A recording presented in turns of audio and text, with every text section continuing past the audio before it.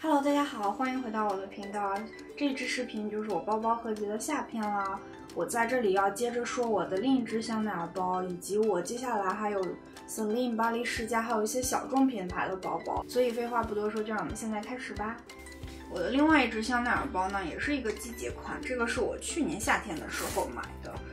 这个包的名字呢就是 Flap Bag，它的包身主体呢是白色的。然后它这个包比较特别的地方就是它的这个边角，还有包括了这个包这个侧面的这个包线都是不同的颜色。比如说它的这个链子上面的皮垫，还有它侧面的这个皮子都是这种淡橘色的。然后它背面像煎蛋一样的这样的黄色。然后它正面的这些边角这里就是这块是粉红色的，这里呢又是绿色的，这块又是红色的，这个地方又是紫色的，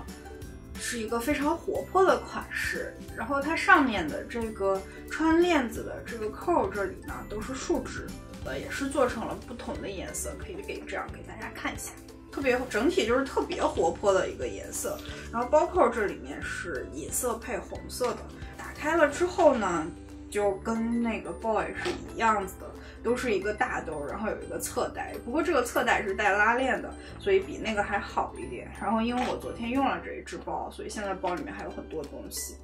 它这个侧盖这块还有一个香奈儿标志的缝线。这个包价格我记着应该是不是很贵，就是它比那个经典款便宜非常多，但其实它也是那个羊皮的质地，而且。它还是一个白色羊皮的质地，当时买的时候心里面还挺忐忑的，觉得可能就是用不了多久，它就会被我弄得很埋汰的那种状态。但其实用起来，我发现它还蛮耐用的，是那种很意外的很耐用的小羊皮。我当时买的时候，因为它这个是很彩色的一个包。我就没有想，我没有想过它那个搭配起来会很好搭。结果到手之后，我去年夏天除了背那一只 LV 的棕色皮的那只包以外，还经常背这一只。它比我想象中的要实用非常多。我自己也特别喜欢那一只包，因为它彩色的，背起来就会感觉心情很灿烂。而且它这个链子嘛，做的很细小的，背起来看着也非常的精致。当然，其实对肩膀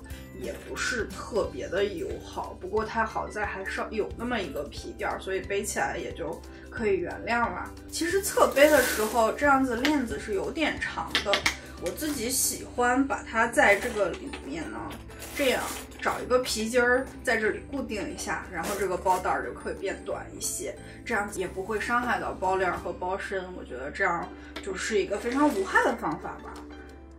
可能它这个官方还是别的地方，或者是淘宝上有卖那种给香奈儿的链条变短的那种小包扣，可以固定一下的。但是我自己觉得皮筋儿应该就够用了，因为皮筋儿是多少都是有些弹性的嘛。这个对它的伤害应该是最小的。我觉得这个包算是我买的包里面是高于预期的，因为我没有想过我会这么喜欢用它，而且我也感觉自己以前低估了香奈儿的这个翻盖包的搭配的可能性，所以我 渐渐的就开始喜欢上这种的这样的包型了。然后现在也在考虑要不要入一支它的那个经典款的这个包，因为我觉得那个就是意义还是跟这个比是不一样的。当然，我想说的还有一个就是香奈儿的这个包，其实先抛开它的价格来说哦，就是它的季节并不是一定是经典款，就是最适合你的，而是说它有很多很漂亮的季节款。这一季出完了，下一季就不再出了。其实我觉得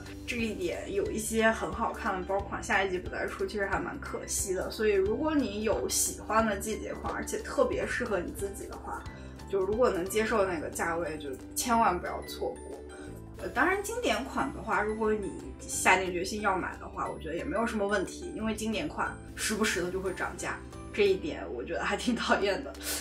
所以这一只包就是这样子。这样的话呢，我香奈儿的包就说完了，所以我就接下来就是说一下 Selina 包。，Selina 包我也只有两只，首先就是这个 Selina 这个 Classic 这一款，这个应该也是两年前买的。然后这一只包的颜色名字特别好听，是 Ballerina。其实它是有一点点粉色的那种象牙色，然后它的五金是银色五金，我自己就比较喜欢淡金色和银色嘛。而且我之前试过这个 Selina Classic 这一款，那个金色的扣子我背上不知道为什么特别难看，所以我就买了银色的扣。哦天哪，这里面有东西。然后这个包其实跟那个 LV 的那个邮差包其实是结构是很像的，都是三层。然后最里层的这个袋子也是最窄的，呃，不同的是它这个 Selina 这一款呢，里面它还有一个拉链，就你还可以再给它拉一层，再加一层保护。然后它还有还有一个不同，就是它这个里面最外面这一层，它还是有两个小侧袋在这儿，你可以放你常用的卡包什么的进去。内里是小羊皮的，外面的这个应该是牛皮的。然后这个膜又忘记撕了，我自己特别特别喜欢这个颜色。然后它这个皮子呢是 box 皮，是以前的那种几乎没有纹理的那种 box 皮。然后现在新版出的那个 box 皮，我看它是有那种很细很小的小水波纹的，这个就基本什么都看不到，就也不是说非常的光滑吧，就是它有一个很淡的光泽感在这里。我要吐槽一下这个包，就是它这个包的这个包链儿这两个扣子，它这个极简的设计呢，虽然非常漂亮，但是它这个金属的包扣棱角实在是太分明了，方方正正的，特别容易划伤自己，特别容易划伤包，所以用的时候需要非常的小心。而且我觉得像这个包，他们都说这个 box 皮的很容易有划痕，我发现是只要是你要当心这两个。扣，它这个包就不是很容易划到的，所以用起来我觉得是需要小心它，但是没有必要特别的在意的那种类型。这个包其实自重已经挺重的了，因为它里外都是皮，虽然里面是小羊皮，但它也还是挺重的。外面的这个牛皮的质地又特别的实在，再加上这个链子这样的细，而且这个扣偶尔会觉得硌的话。我觉得呢，它不是一个特别完美的包。这个用了差不多两年哦，我自己没有在表面发现有什么划痕，说明我自己用的还是蛮当心的。而且这个链子其实是可以调短的，我一般都喜欢把它放的比较长，这样子来用。因为那样短的，我总觉得就是有点太敦厚了，不太喜欢。我还是喜欢它这个长链的样子。所以这个 Classic 这个包就是这样子。然后我再说一下我的另外一只 Celine 的包，我一共就两只哦。然后这个包是在国内买的，然后这个是它去年新出的，应该是去年还是前年，反正是一个新出的款式，叫 Clasp。然后这个尺寸是 Mini Clasp。当时我是在北京的星光天地，呃，不对，应该是叫 SKP 了，不小心就暴露年龄了。这个包是在 SKP 的那个 Celine 的那个店里面买的，当时是店里面摆着这一只，然后一眼就相中了，因为我觉得这个蓝色特别的漂亮，而且它也是我很喜欢的银色五金。我自己背正常 size 的那个 clasp 那个包呢，那个包虽然非常漂亮，但是在我身上就有点太大了，呃，所以这个 mini 的 size 对我来说是最合适的。我当时试了之后，就在店里面稍微犹豫了一下，我就把它给买了，因为是这一款的价格跟美国是差不多的。然后这只包的材质是蜥蜴皮的。稀有皮里面，我能接受的应该目前就只有蜥蜴皮，因为这个蜥蜴皮其实是比较软，然后也比较细细腻，纹理也不会特别夸张的那种类型，用起来也不会觉得很 too much 的那种皮子。然后这个带子呢，它是不可调节长短的，但是我习惯的是把它有的时候想让它变短点，我就给它打个结。之前我觉得这个打结看起来好矬啊，不过其实。还好的，因为它的这个皮链儿质量也很好，也是很挺的那一种，所以看起来也还挺有型的。这个包的容量就比较小了，因为它是比较扁的那一种，所以哪怕是这个皮子比较软，你也不能放太多东西，不然它这个表面就会鼓起来，不是特别的好看。它这个里面也是羊皮的内里，怎么所有的包里面，几乎所有的包里面都有口红啊？这个可能就有点看不见了，因为它内里全都是黑色的羊皮。也是只有一个袋儿，然后侧面上面有两三个卡槽，然后它的这个扣就是这样子的。其实它的这个五金的设计呢，还是非常有棱角，还是很容易被碰到，所以也要小心一些。因为当然，因为这个包本身就比较轻，跟那个 Classic 比块头很小，就是它的正面看起来是比 Classic 大一些的，但是其实它的侧面很薄很薄的了，所以本质上这一款包是一个小包。我自己就特别特别喜欢这个颜色，如果是普通皮的话，我可能不会考虑买的。但是因为是这个皮子，它的这个纹理就让它在不同的光下，它这个蓝色的感觉是不一样的，所以我自己很喜欢。而且到手之后，感觉这个蓝色看起来好像挺艳的，但其实搭起来还好，而且也比想象中好搭，所以这个包应该是我新买的包里面最喜欢的一只。接下来说一只巴黎世家，这个包是个 mini size 机车包。当时我记着应该是那一年，它出了这个 mini size，我当时特别特别喜欢这个尺寸，所以就买了。因为我觉得它这个小尺寸比它那个大尺寸看起来精致很多，颜色就是正红色，搭配的也是这个闪闪的金色五金。不过我觉得它搭配的挺好，所以我就对这个金色五金也就忍了。然后它这个袋子哦。不要看它包小，袋子还是很宽的，就而且它还有一个这个皮垫在这里。但是，这个包袋其实是可以取下来的，我自己是没有取下来过的。然后这个包呢是小羊皮的，我在这里呢就是想吐槽一下巴黎世家的这个小羊皮，真的很脆弱，很脆弱。如果你又是那种特别心疼包的那种人呢，那你就不要买颜色这么亮的羊皮，因为我买回去用了不到十次，我就发现这个边儿这里就有点掉色了。当然，其实是看不太出来的，因为它本身就是那种有一点旧旧的那种感觉，所以其实掉一点色也没有关系。但是它其实是真的掉了蛮多的，这就可以算是那种很明显的使用痕迹了吧。然后这个包是没有那种穗儿的，只是有一个这个镜子而已。最后说一说它到底实不实用，其实它特别的实用啊，因为它这个包整个就特别的软，所以。别看是一个 mini size，其实可以装蛮多东西的。我觉得它的容量跟那个 LV 的那个 Alma B 比，它们两个应该是差不多的。而且这个包其实要比那个包更轻一些，因为它外面是小羊皮，里面是内衬是布做的，所以整个就是很轻。它里面就只有这样一个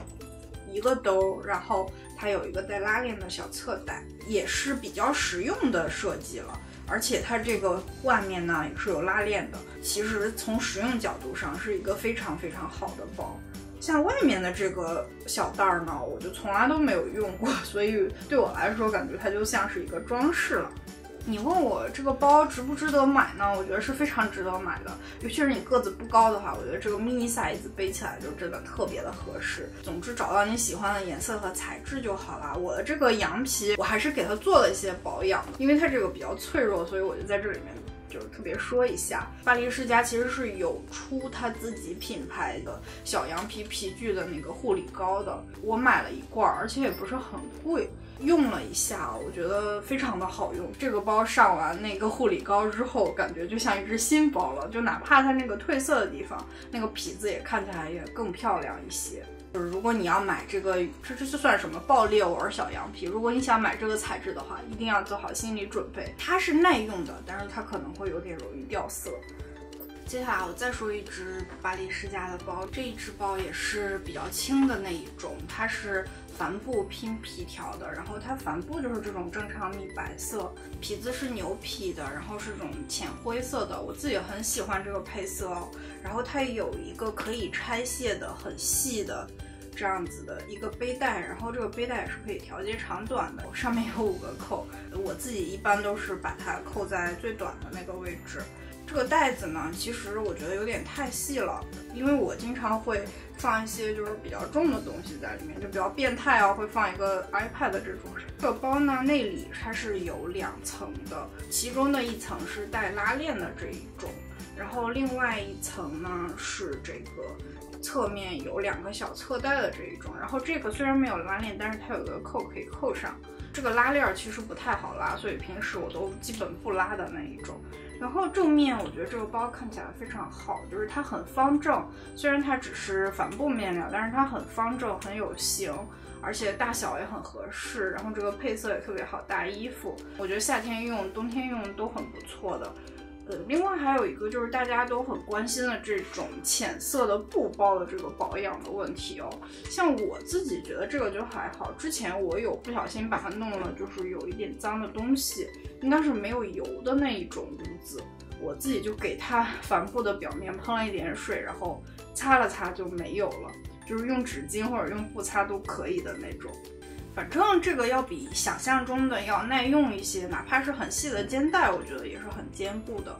呃，而且它也没有那么容易脏啦，所以其实保养上没有什么可说的，就非常简单，用起来我觉得也很实用。它其实还蛮能装的，因为它自己包身很轻，所以出去玩的时候也可以把它压扁了放在行李箱里面都是没有问题的。总之，这个包呢，我是很推荐的。其实巴黎世家像这种帆布拼皮的配件呢，它是有一整套的那个设计的，大的小的都有。我不知道现在还出不出哦。如果它还出的话，反正我是蛮推荐的，因为它这个帆布拼皮的制品跟那个像 Celine 啊什么这种牌子比起来呢，我觉得性价比更高一些，实用性也更高一些。像其他的牌子，我觉得定价就有点太高了，这个就是很划算的那一种。因为它现在设计就是换了一个风格嘛，所以我就想，可能它也许就不再出了吧。总之，如果它还出这个帆布系列的话，我就还蛮推荐的。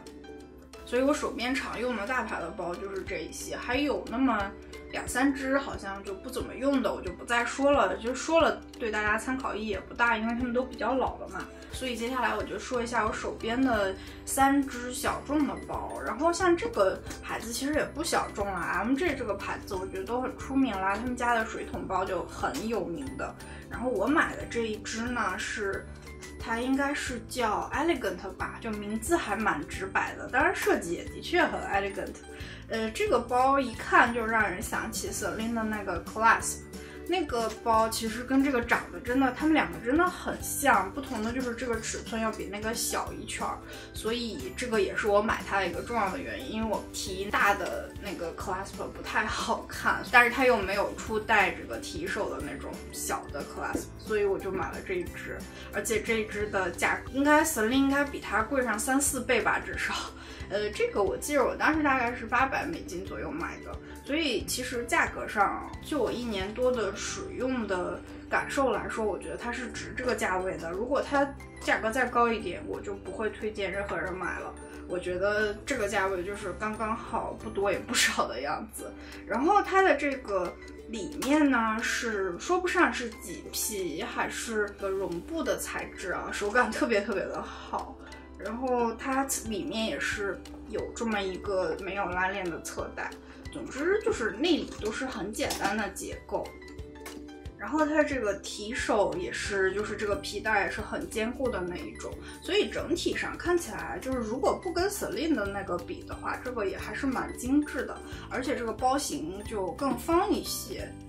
我买的这个是墨绿色的，其实它还有很多种颜色，甚至它还有很多别的材质，比如说布的材质，或者还有麂皮的材质。然后我买这个就是比较光滑的这个皮子的材质，用下来我觉得其实它容量还挺大的，就比你看起来要能装一些，因为它这个开口很大，而且它是这种逐渐变大的这个容量的设计。这个包本身其实也不是特别的硬。所以容量也还好的，有一个设计的点我要吐槽的就是它这个底部不是完全的平，它不是完全的平，也就是说它不能稳稳的立住，我觉得这个还挺烦的。就你收纳的时候，如果它不能稳稳的立住，其实它东倒西歪的就还挺烦的，因为其实它本身也不小。所以呢，这个包就是这样子。如果你还喜欢这个。设计的话呢，又觉得 Celine 的那个负担不起，或者觉得那个没必要花那么多钱的话，我觉得这一款也是可以试试的。保养起来也没有什么压力，我到现在也没有用出划痕什么的。